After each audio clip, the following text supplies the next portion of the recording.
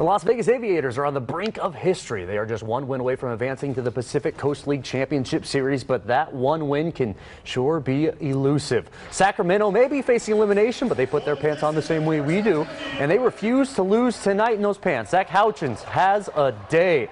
Opposite field home run. River Cats seize the lead early.